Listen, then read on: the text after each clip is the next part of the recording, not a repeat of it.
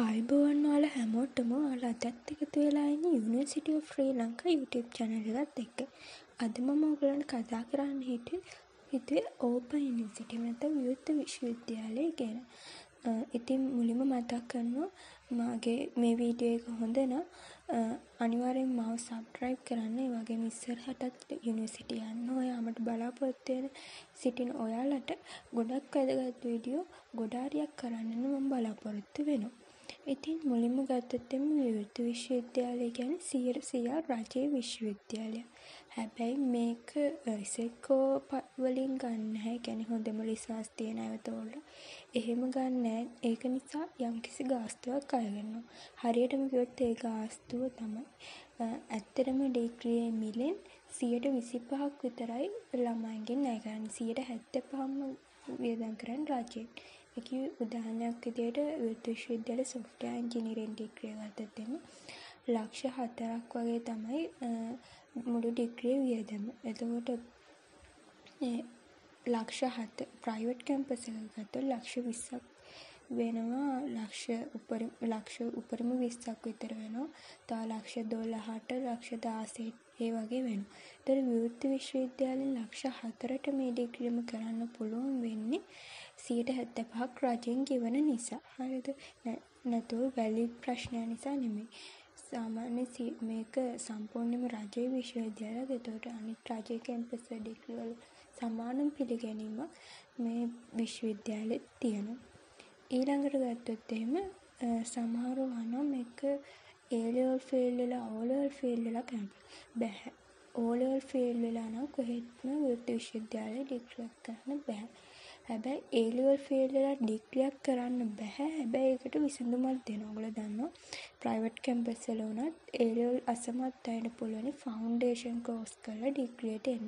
ඉතින් විවෘත විශ්වවිද්‍යාලෙත් මේ විදිහේ ක්‍රමයක් හඳුන්වා දීලා තියෙනවා ෆවුන්ඩේෂන් කෝස්. ඉතින් මම වෙනම වීඩියෝ එකක් කරන්න ඉන්නේ මේ ෆවුන්ඩේෂන් කෝස් දෙන. මේ වීඩියෝ එකේ සරලව කිව්වොත් එහෙම අවුරුදු දෙකක් ෆවුන්ඩේෂන් ෆවුන්ඩේෂන් කෝස් කරන්න ඕනේ. හැබැයි මුලින්ම විභාගයක් තියෙනවා. විභාගයෙන් ලකුණු ගත්තොත් මේ ප්‍රමාණයට ඒගොල්ලෝ කියන ප්‍රමාණයට වඩා ඔයාලට එක් අවුරුද්දක් විතර ෆවුන්ඩේෂන් කෝස් කරලා ඩිග්‍රියට යන්න පුළුවන්. මම ඒ ගැන වැඩි විස්තර කරලා වීඩියෝ එකක් කරන්න. දැන් අපි යමු විවෘත විශ්වවිද්‍යාල ගැන. ඉතින් කිව්වා වගේ මේ විවෘත විශ්වවිද්‍යාලේ කෙලින්ම ඒ ලෙවල් අසමත් අයන්ට ඩිග්‍රී දෙන්න ඒ ලෙවල් සමත් වෙන්න ඕනේ. ඒ වගේම තමයි විවෘත විශ්වවිද්‍යාලයේ උපාධි සේරම අභ්‍යන්තර උපාධි ඉන්ටර්නල් උපාධි බාහිර උපාධි දෙන්නේ විවෘත විශ්වවිද්‍යාලයේ බාහිර උපාධි කියලා කියන්නේ විවෘත විශ්වවිද්‍යාලයේ උපාධි සේරම අභ්‍යන්තර උපාධි. ඒ වගේම උපාධි සේරම වගේ ඉංග්‍රීසි මීඩියම් වලින් තමයි උගන්වන්නේ. හැබැයි සමහර උපාධි තියෙනවා මාධ්‍ය තෝරගන්න පුළුවන් උදාහරණයක් විදිහට එඩියුකේෂන් ඩිග්‍රිය ලෝ ඩිග්‍රිය වගේ ඒවා මාධ්‍ය තෝරා ගන්න පුළුවනි. ඒ වගේම ලෝ ඩිග්‍රිය ගැන කිව්වම කියන්න ඕනේ සාමාන්‍යයෙන් රජයේ කැම්පස් එකක ලෝ නොතේරුණොත් කෙලින්ම ලෝ ෆැකල්ටි ගියොත් එහෙම උපාධිය හම්බෙන්නේ නැහනේ. එතකොට ලෝ උපාධියක් ගන්න පුළුවන් එකම තැන වගේ තමයි විවෘත විශ්වවිද්‍යාලය කියන්නේ. මේකට හැම අවුරුද්දෙම විශාල තරගයක් තියෙනවා. මේ මේ ලෝ උපාධිය ගැන වෙනම වීඩියෝ එකක් කරන්න ඕනේ. ඒක ගැන ලොකු විස්තරයක් තියෙනවා. ඊළඟට ගත්තොත් එහෙම විවෘත විශ්වවිද්‍යාලේ නැත්තේ සරලම කිව්වොත් එහෙම මෙඩිසින් විතරයි කිව්වොත් එහෙම හරිය අනිත් සේරම උපාධි වගේ තියෙනවා. නර්සින් පවා තියෙනවා. එතකොට තව ගත්තොත් එහෙම විවෘත විශ්වවිද්‍යාලේ ඩිග්‍රී රජයේ කැම්පස් එකක ඩිග්‍රී හා සමානව පිළිගන්නවා. වැලිඩ් එකේ කිසිම වෙනසක් නැහැ. ඒකට හොඳම උදාහරණය තමයි ඔයගොල්ලෝ දන්නවා ඉංජිනේරින් ඩිග්‍රී එක පිළිගැනීම තීරණය වෙන්නේ IESL වලින්. මේ IESL කියන්නේ ඉංජිනේරු සභාව මගින් ශ්‍රී ලංකාවේ ඉංජිනේරුවෙක් විදියට දෙන පිළිගැනීම. ඉතින් මේ පිළිගැනීම රාජ්‍ය කැම්පස් වල ඉංජිනීරින් ඩිග්‍රී සේරටම වගේ තියෙනවා. ජයවර්ධනපුර යුනිවර්සිටි එහෙම ඉංජිනීරින් අලුතින් පටන් ගත්ත නිසා ඒකේ තාම ලැබිලා නැහැ. ඒ අරනම රජයේ කැම්පස් තියරින් වගේ තියෙනවා. මේ රජයේ කැම්පස් වල නම් මුදල් ගෙවලා ඉංජිනේරින් ඩිග්‍රියක් කරද්දී IESL ලැබෙන එකම තැන තමයි විරුද්ධ විශ්වවිද්‍යාලය කියන්නේ. කිසිම ප්‍රයිවට් යුනිවර්සිටි එකකටවත් ISL ලැබෙන්නේ නැහැ. ඉතින් ඔයාලට ඕපන් යුනිවර්සිටි ඩිග්‍රී වල පිළිගැනීම මේකෙන් හිතා ගන්න පුළුවන්. මොකද ISL වගේ දෙයක් නිකන් දෙන්නේ නැහැ. ඩිග්‍රී කෝස් කන්ටෙන්ට් බලලා තමයි දෙන්නේ. ඉතින් මේ ඉංජිනේරින් ඩිග්‍රී ගන්න නම් මැත්ස් කරලා තියෙන්න ඕන. මේ ISL ගන්න නම් කොහොමත් මොනඩි කැම්පස් එකෙන් ඉංජිනේරින් කරත් C දෙකක් තියෙන්න ඕනේ. ISL ගැනත් වෙන වීඩියෝ එකක් කරන්න. එතකොට මේකෙන් කරන්නේ මම විත්ත විශ්වවිද්‍යාලය ගැන. එතකොට මේ විත්ත විශ්වවිද්‍යාලය ඇතුළේ සහ ඔය ISL වගේ දේවල් ඒකට විත්ත විශ්වවිද්‍යාලේ තියෙන විශේෂ උපාධි ගැන එහෙම මේ වීඩියෝ එකෙන් කියන්න අමාරුයි සේරම. ඔයාලට අවශ්‍ය විස්තර දැනගන්න ඕන අවශ්‍ය උපාධි තියෙනවා නම් යටින් කමෙන්ට් එකක් දාන්න. අනිවාර්යෙන් මම විස්තර කියන්නම්. ඊළඟට ගත්තොත් එහෙම මේ රජයේ විශ්වවිද්‍යාල වලින් ඌව වෙල්ලස්ස විශ්වවිද්‍යාලය ඇරුණම උපාධි හිස්වැස්ම හා ලෝගුව කියන දෙකම විපාධිය ගන්නකොට පළඳන්නේ විවෘත විශ්වවිද්‍යාලය විතරයි. ඉස්සර නම් එකම රාජ්‍ය විශ්වවිද්‍යාලයනේ විවෘත විශ්වවිද්‍යාලය විතරයි එහෙම පළඳන නමුත් ඌව වෙල්ලස්ස විශ්වවිද්‍යාලය අලුතින් ආරම්භ වුණාම ඒකෙත් දෙනවා. හරිද? එතකොට මේ මොකද්ද මේ උපාධි ස්වැස්ම හා ලෝගුව දෙකම පළඳින එකෙන් කියවෙන්නේ කියන එක ඔයාලා Google කරලා බලන්න. එතකොට ඔයගලන්ට තේරෙයි මේ දෙකම පළඳින්න දෙන්නේ කොච්චර වැලිඩ් නිසාද කියලා. ඊළඟට සමහරව අහනවා මේ පිට රටවල පිළිගැනීමක් නැද්ද කියලා. ඒකටත් දෙන්න තියෙන හොඳම උත්තරේ තමයි ඔයාලා ඕපන් යුනිවර්සිටි ශ්‍රී ලංකා කියලා නැතුව ඕපන් යුනිවර්සිටි කියලා විතරක් Google ගහලා බලන්න. එතකොට ඔයාලට එන විවිධ රටවල් වල ඕපන් යුනිවර්සිටි. මේ ඕපන් යුනිවර්සිටි කියන සංකල්පය අපේ රටේ ආරම්භ කරපු එකක් නෙමෙයි. මේක තාම දියුණු රටවල මේ ආරම්භ කරලා දියුණු රටකින් අපේ රටට ආපු එකක්. හරියටම කිව්වොත් එහෙම මේ බ්‍රිතාන්‍යයේ මේක ආරම්භ කරේ 1978 ඒ කලු උසස් අධ්‍යාපන ඇමතිවරයා හිටපු නිශ්ශංක විජේරත්න මහතා විසින් තමයි මේ විවෘත විශ්වවිද්‍යාලය මේ ආරම්භ කරේ සංකල්පය ක්‍රියාත්මක කරේ. ඉතින් එයා මේ එතුමා මේ අත්දැකීම ගත්තේ බ්‍රිතාන්‍ය මේ විවෘත විශ්වවිද්‍යාලය කියන. ඉතින් බ්‍රිතාන්‍ය UK ගොඩක් දියුණු රටවල මේ ඉහළ ගොඩක් ප්‍රසිද්ධ යුනිවර්සිටි ගෙන් දියුණු රටවල තියෙන සංකල්පයක් දියුණු රටවලින් ගෙන ආපු විශ්වවිද්‍යාලය තමයි ඕපන් යුනිවර්සිටි කියන්නේ. ඉතින් පිට රටවල පිළිගැනීමක් නැද්ද කියලා අහන එකත් තරම විහිළුවක්. මොකද පිට රටවල පිළිගැනීම ඕන හැටියට තියෙනවා. ඊළඟට ගත්තොත් එහෙම මේකේ ඩිග්‍රී වලට අවශ්‍ය සුදුසුකම් ගත්තොත් එක එක ඩිග්‍රී වලට වෙනස් වෙනවා. සාමාන්‍යයෙන් ගොඩක් ඩිග්‍රී වලට ඒ ඩිග්‍රියට ඉල්ලන විෂයෙන් S3ක් තිබ්බම ඇති. හැබැයි සමහර ඩිග්‍රී වලට ගන්න සිලෙක්ෂන් ටෙස්ට් එකක් තියෙනවා. මම කලින් කිව්ව සොෆ්ට්වෙයාර් ඉංජිනේරින් ඩිග්‍රී එකට ගන්න සිලෙක්ෂන් ටෙස්ට් එකක් තියලා බෑකට ඕනම සබ්ජෙක්ට් එකක් ඒ ලෙවල් වලට කර කරලා සමත් වෙච්ච ලියන්න. ඒ වගේම ලෝත් එහෙමයි. ලෝ තව මැනේජ්මන්ට් ඩිග්‍රියට ඒ වගේ වල සිලෙක්ෂන් ටෙස්ට් තියෙනවා. ලෝ එහෙම විශාල තරංකාරී සිලෙක්ෂන් ටෙස්ට් එකක් තියෙනවා. දන්න අය දන්නවා කියන.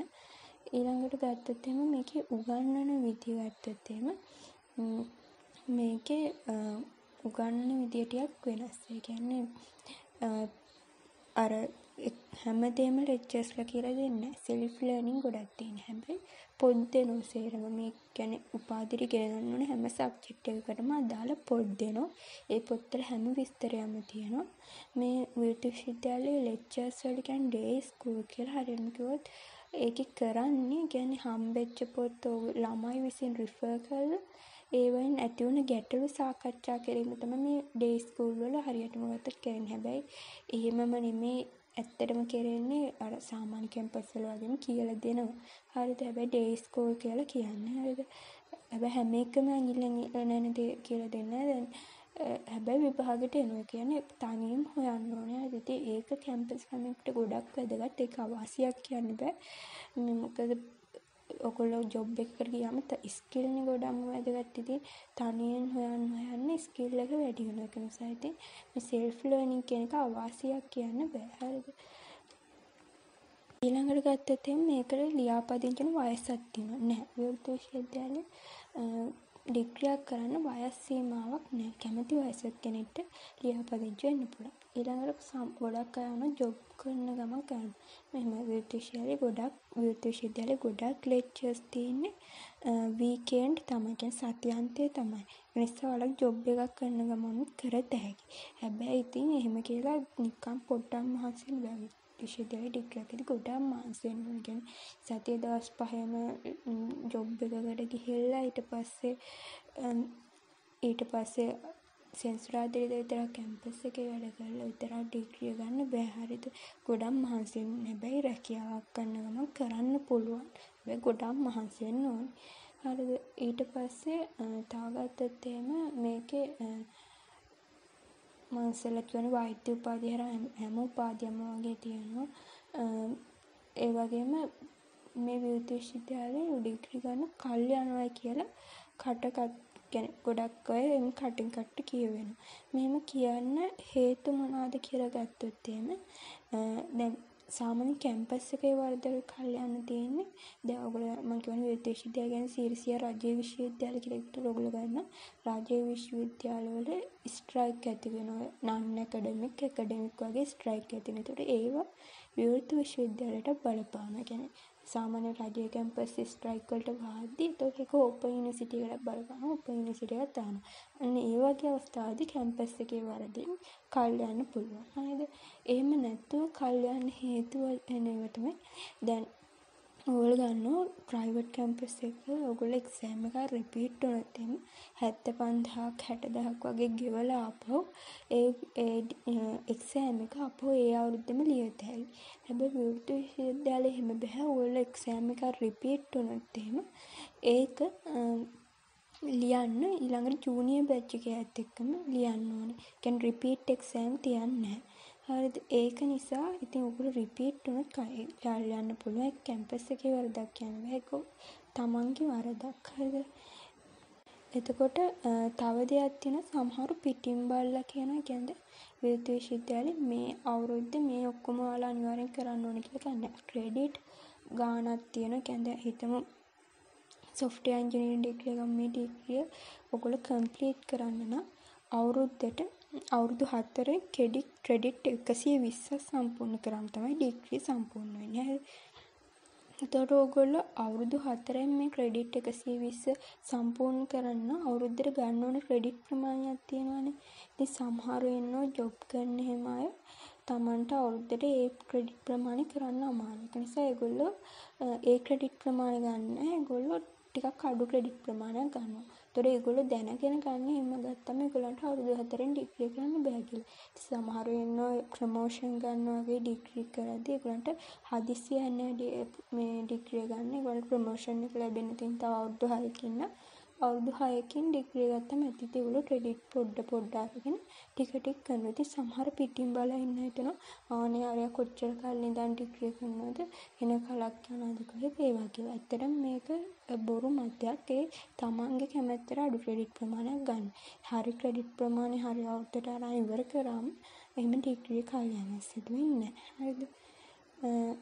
ගත්තොත් එහෙම විවෘත විශ්වවිද්‍යාලය කියන්නේ දැනට ලංකාවේ අවුරුද්දකට වැඩිම සිසුන් ප්‍රමාණයක් ලියාපදිංචි වෙන විශ්වවිද්‍යාලය. හරිද?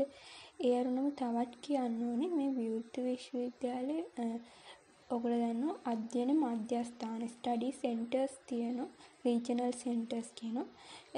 රට හැම තැනකම වගේ කියන්නේ ඔයාලා නුවර හිටියත් ඔයාලා දකුණු පළාතේ හිටියත් ඔයාලට ඒ පළාතෙම ඩිග්‍රිය කරන්න මධ්‍යස්ථාන තියෙනවා. හැබැයි ප්‍රධානම විශ්වවිද්‍යාලය තියෙන්නේ නාවල හරිද? ඒ කියන්නේ කොළඹ කැම්පස් එක ගත්තම කොළඹ තියෙනවා වගේ මොරටුව කැම්පස් එක මොරටුව තියෙනවා වගේ විවෘත විශ්වවිද්‍යාලේ ප්‍රධාන වශයෙන් ගත්තොත් නාවල ඒ කියන්නේ කොළඹ. හරිද? එතකොට ඒ අනු සෙන්ටර්ස් තියෙනවා. මේ සෙන්ටර්ස් වල හැම ඩිග්‍රියම නැහැ. හැබැයි ප්‍රධාන ඩිග්‍රී තියෙනවා. හරිද? දැන් මේ වීඩියෝ එක බලන ඔයා මේ ළඟදී ඒ ලෙවල් කරලා විශ්වවිද්‍යාල අත්දැකීමත් සමග ඩිග්‍රියක් ගැනීමේ ආසාවෙන් ඉන්නවා නම් මං යෝජනා කරන්නේ ඔයාලා මොන පළාතේ හිටියත් නාවල ප්‍රධාන විවෘත විශ්වවිද්‍යාලයේ රෙජිස්ටර් වෙලා ඒ කැම්පස් එකේ ඩිග්‍රී කරන්න. මේක බලන ඔයා ජොබ් එකක් කරන ගමන් ඔයාට ඕනේ ඔයාට කැම්පස් අත්දැකීම් ඒවා විඳින්න ඕන. ඔයාට ඕනේ කොහොම හරි විවෘත විශ්වවිද්‍යාලයෙන් ඩිග්‍රියක් ගන්න නම් ජොබ් එක කරන ගමන්. ඔයාට පුළුවනි ඔයාගේ ළඟම රීජනල් සෙන්ටර් එකේ ඔයා කැමති ඩිග්‍රියට රෙජිස්ටර් වෙලා ඒ සෙන්ටර් එකේ ඩේ ස්කූල් වලට ගිහිල්ලා එම කරන්න හරියද විවෘත විශ්වවිද්‍යාලයේ මේ ඩිග්‍රී කරලා ලැබෙන ජොබ් ගත්තොත් එහෙම අනිත් කැම්පස් වලින් ඩිග්‍රී ගත්තම ලැබෙන ජොබ්ම තමයි හරිද. අඩු සැලකිල්ලක් එහෙම නැහැ හරිද. ඒ කියන්නේ දැන් ඔයා සමහරව අහනවා විවෘත විශ්වවිද්‍යාලයේ ඩිග්‍රී අරන් කෙලින්ම ටීචින් යන්න පුළුවන්ද? එහෙම එකක් නැහැ. මොන කැම්පස් එකෙන් ඩිග්‍රිය ගත්තත් ටීචින් එක්සෑම් ලියන්න ඕන ටීචින් යන්න හරිද. ඒක විවෘත විශ්වවිද්‍යාලයටත් පොදුයි හරිද. ඊළඟට සොෆ්ට්වෙයාර් එන්ජිනියරින් ඩිග්‍රිය ගත්තොත් ඒ ඩිග්‍රිය කරලා අනිත් කැම්පස් එකේ සොෆ්ට්වෙයාර් එන්ජිනියරින් ඩිග්‍රිය කරන අයට තියෙන ජොබ්ම තමයි තියෙන්නේ. හැමදේම කරලා එහෙමයි හරිද. මැනේජ්මන්ට් ඩිග්‍රිය කරත් එහෙමයි. එහෙම විශේෂ විශේෂ අඩු සැලකිල්ලක් හෝ වැඩි සැලකිල්ලක් නැහැ හරිද. ඒ වගේම කියන්න ඕන ඔයාලට මම මුලින්ම කිව්වනේ විද්‍යාල විශ්වවිද්‍යාලය කියන්නේ සියයට සියයක් රාජ්‍ය විශ්වවිද්‍යාලයක් කියලා. ඉතින් ඔයාලට ඒක ප්‍රූව් කරගන්න පුළුවනි.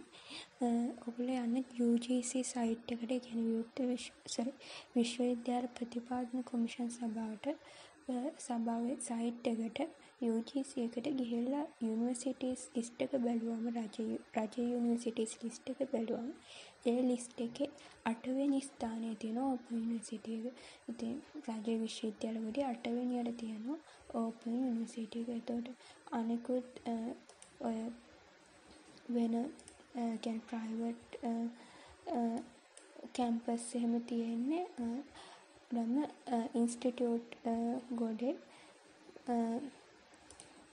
නැහැ සොරි ඉන්ස්ටිටියුට් ගොඩේ නෙමෙයි රෙකොග්නයිස් ෆොරින් යුනිවර්සිටීස් ගොඩේ ඒ වගේ ඇති ඔයාලට ප්‍රයිවට් යුනිවර්සිටීස් කියන කියන්නේ UGC approved private universities. ඒ වගේ වල තියෙන්නේ recognized foreign universities other government universities other recognized degrees degree courses institutes වගේ ගොඩේ තියෙන්නේ නමුත් ඒ විශ්වවිද්‍යාලය සාමාන්‍ය රජයේ විශ්වවිද්‍යාලය ගොඩේ අටවෙනි ස්ථානයේ තියෙනවා. ඒ වගේම ඔයාලා දන්නවනේ යුනිවර්සිටි රෑන්කින් ලංකාවේ හොඳම යුනිවර්සිටිස් කියලා එක එක ඒවා හොයලා බලලා ඒ අනුව රෑන්ක් කරන එක ඒක. එතකොට ඕපන් යුනිවර්සිටි එකේ රෑන්කින් ගොඩේ නවවෙනි ස්ථානයේ ඉන්නවා. ඒත් ඔයාලට වැලිඩ් එක ගැන ආයෙත් අමුතුවෙන් කියන්න ඕනේ. නැහැ. හොඳම විශ්වවිද්‍යාලවල නවවෙනි ස්ථානයේ ඉන්නකම ඔයාලට මේවා Google සර්ච් කරලා ඕන දෙයක් බොරුද ඇත්තද කියලා බලත හැකි හරිද? ඉතින් ඒ වගේම කියන්න ඕනේ මේ කැම්පස් එක මේ කැම්පස් එකේ විතරක් නෙමෙයි ඕනම කැම්පස් එකක ඔයගොල්ලෝ මුලින්ම ඩිග්‍රියට ලියාපදිංචි වෙන ප්‍රමාණයයි අන්තිමට ඩිග්‍රිය ගන්න ප්‍රමාණයයි බැලුවොත් සෑහෙන වෙනසක් තියෙනවා. හරිද? ඒකට හේතුව තමයි තමන් කැමති ඩිග්‍රී නැතුව රැල්ලට ඩිග්‍රී කරන එක. හරිද? ඒ කියන්නේ දැන් හැමෝම කරන නිසා තමන් කරනවා තමන් කැමති නිසා නෙමෙයි. මේක ඕපන් යුනිවර්සිටි උනත් ප්‍රයිවට් උනත් එකයි. ඒක නිසා ඉතින් අර අන්තිමට ඩිග්‍රී කරගන්න බැරි වෙනවා. ඒකේ වරද කැම්පස් එකට පටවල හරියන්නේ හරිද? ඒ වගේම සබ්ජෙක්ට් රිපීට් වුණත් අනිත් කැම්පස් වලට සාපේක්ෂව මේ කැම්පස් එකේ කල් යනවා වැඩි. හරිද? ඒක නිසා රිපීට් නොවි කරගන්නත් ඕනේ. ඒක නිසා විශේෂයෙන් තමා කැමති ඩිග්‍රිය තෝරගන්න. අද රැල්ලට කරනවා වෙනුවට හරිද? ඉතින් මේ කැම්පස් එකේ මේ නැති ඩිග්‍රියක් නැහැ. මෙඩිසින් ඩිග්‍රී නම් සේරම වගේ තියෙනවා. හරිද? ඒ වගේම කෝස් මෙටීරියල් දෙනවා. කියන්නේ පොත් දෙනවා ඔයාලට අධ්‍යයනය කරන්න. ඩේ ස්කූල් තියෙන වගේම ඔයාලට ඕනම ප්‍රශ්න ලෙක්චර්ස් ලගෙන් අහන්න පුළුවන්. ඕනම වෙලාවක ඒගොල්ලෝ පිළිතුරු දෙනවා. ඒ වගේම කියන්නේ විවෘත විශ්වවිද්‍යාලෙම සේවය කරන උපාධි PhD සේරම ගත්ත ඉතාම දක්ෂ ලෙක්චර්ස්ලා ඉන්නවා. ඒ වගේම පිටතිනුත් දක්ෂ ලෙක්චර්ස්ලා ගෙන්වනවා. ගොඩක්ම සෙල්ෆ් ලර්නින් කරන්න ඕනේ මේ කැම්පස් එකේ මොන කැම්පස් එකේ ඔයාලා ඩිග්‍රී කරත් සෙල්ෆ් ලර්නින් කියන එක ඉතාම වැදගත් විශ්වවිද්‍යාල සිසුවෙක්ට. ඔයාලට ඕනම ප්‍රශ්නයක් අහන්න ඕනම ඩිග්‍රියක් ගැන ඒ වගේම මම ඉස්සරහට බලාපොරොත්තු වෙන ඔයගොල්ලෝ කැමති නම් ෆවුන්ඩේෂන් කෝස් ගැන වීඩියෝ එකක් කරන්න. ඒ කියන්නේ ඒ ලෙවල් අසමත් අයින්ට කරන්න පුළුවන් ෆවුන්ඩේෂන් කෝස් ගැන විස්තරයක් කරන්න ඔයාලා කැමති නම් කියන්න. ඒ වගේම අනිකුත් ඩිග්‍රී ගැනත් ලොකු විස්තර අවශ්‍ය නම් කියන්න මම වීඩියෝ කරන්න. ඒ කියන්නේ ලෝ ඩිග්‍රී වගේ ඒවා ගැන ඔයාලට මේ දැනගන්න ඕන. ඒ වගේම තව BSc ඩිග්‍රී තියෙනවා. ඒ වගේ ඒ ඩිග්‍රී ගැන වෙන වෙනම ඔයාලට විස්තර දැනගන්න නම් අනිවාර්යෙන් වීඩියෝ එකක් කරන්න. වීඩියෝ කරන්න. මම සබ්ස්ක්‍රයිබ් කරලා තියාගන්න. ඒ වගේම මේ වීඩියෝ එක ඔයාලගේ කැම්පස් යන්න කැමැත්තෙන් කැම්පස් ගැන දන්නේ නැති යාළුවෝ ඉන්නවනම් ෂෙයා කරලා ඒගොල්ලන්ටත් මේ විස්තර දැනගන්න කියන්න. මං හිතන විදිහට විවෘත විශ්වවිද්‍යාලය කියන්නේ ඕනම ළමයෙක්ට රජයේ කැම්පස් වලට සුදුසුකම් නොලැබුණාම යන්න පුළුවන් ෆස්ට් චොයිස් එකක්. මොකද ලෝන් ගන්න අවශ්‍යතාවයක් වෙන්නේ නැහැ බොහෝ දුරට. ඒ කියන්නේ අවුරුද්දට දෙපාරක් වගේ තමයි පේ කරන්න තියෙන්නේ. ඒක තමන්ට දරා ගන්න පුළුවන්. ඒක නිසා මම නම් හිතන්නේ හොඳ වැලිඩ් සිරසිය රාජ්‍යීය විශ්වවිද්‍යාලයකින් ලැබෙන වැලිඩ් ඩිග්‍රියක් ඉතාම සහනදායී විදියට ගෙවන්න පුළුවන් විදියට ලැබෙන ඉතාම වටිනා චාන්ස් එකක්. ගොඩක් අය නොදැනුවත්කම නිසා මගහැර ගන්න ඉතාම වටිනා චාන්ස් එකක්. ඔයාලට මේ ඒ කියන්නේ අපරාධ මේ මේ චාන්ස් එක මගහැරවා ගන්න එක. ඒක නිසා ඔයාලට ඕන විස්තරයක් අහන්න. ඩිග්‍රී ඔයාලට අවශ්‍ය ඩිග්‍රිය ෆෝල් ඇප්ලිකේෂන් කෝල් කරලාද කියලා ඔයාලට පුළුවන් ඕපන් යුනිවර්සිටි වෙබ්සයිට් එකේ ගිහිල්ලා බලන්න ඕන වෙලාවක නිතරම ඒ ගැන ටච් එකේ ඉන්න. තව ඕනම ප්‍රශ්නයක් තියෙනවා නම් මගෙන් අහන්න. මම මේ වීඩියෝ එක දැන්ට නතර කරනවා.